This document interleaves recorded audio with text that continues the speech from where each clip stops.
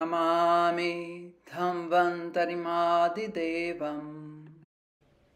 Ah, mas é arroz negro, não sei o que. Vá lá.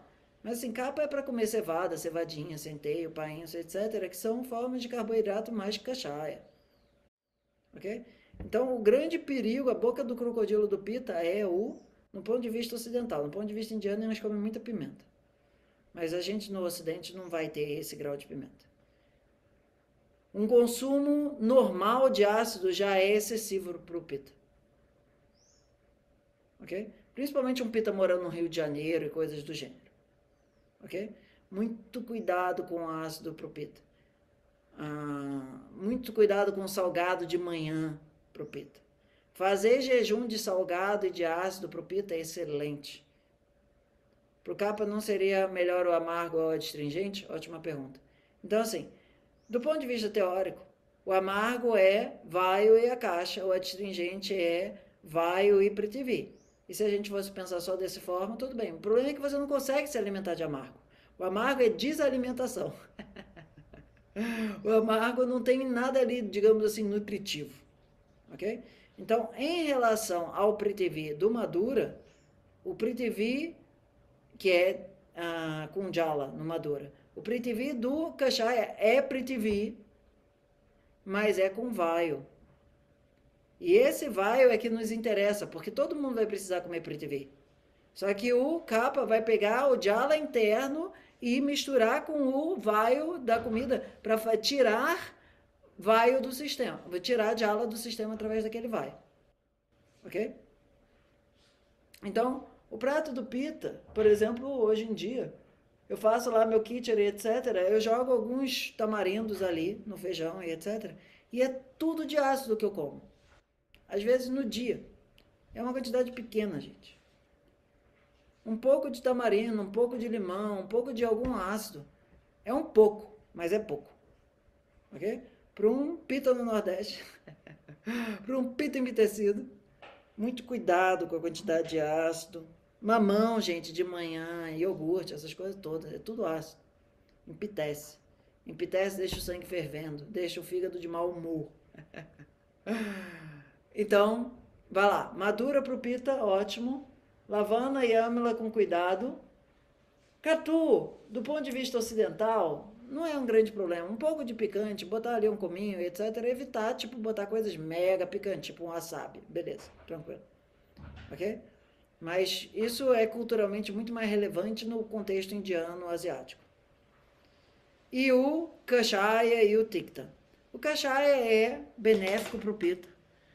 Principalmente no final da refeição, você tipo botar ali na alface ou qualquer coisa que seja uma semente de girassol, alguma coisa um pouco mais astringente. O pita muitas vezes comer uma farofinha junto da alface não vai ser um grande problema, porque ele tem acne para isso. Isso vai ajudar ele a ficar mais seco, ok? E com menos fome. Botar um pouco de astringente que não seja folhas no final da refeição do pita. Não tem aqueles negócios de restaurante natural que adoram jogar umas sementes em cima? Então, no caso do pita, semente de, uh, semente de abóbora, semente de girassol, semente de melancia. Melancia aqui no Brasil não é muito comum.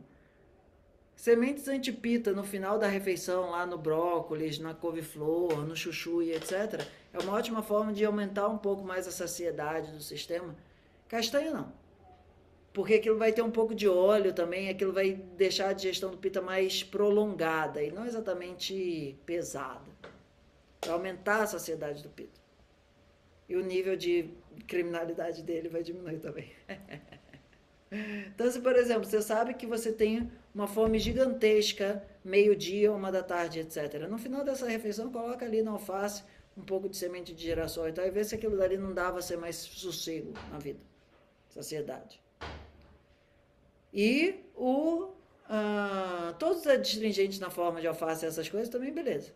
E o ticta pro pita é fundamental, gente. Terminar uma refeição com um belo de um pote de geló na frente. É a felicidade do metabolismo do pita. O metabolismo hiperacidificado é o que vai realmente se beneficiar o ano inteiro de amargo. É claro que no verão mais, no inverno menos. Mas no caso do capa, assim, a quantidade de amargo que a gente usa no inverno não é muito não. a gente entope a venta do capa de picante no inverno. Ok? No caso do pita, a gente coloca um pouquinho mais de picante no inverno, um pouquinho menos de amargo, mas é pouco. Amargo é presente no prato do pita meio que o ano inteiro, a não ser que a pessoa mora no Alasca. Ok? Agora o vata. O vata, gente, ele não digere tão bem assim uma dura, se ele não estiver junto de toda a galera que tem Agni. Quer estudar conosco? Se liga aí na descrição e manda um namastê. ॐ नमो भगवते वासुदेवाय धन्वन्तरये अमृतकलशहस्ताय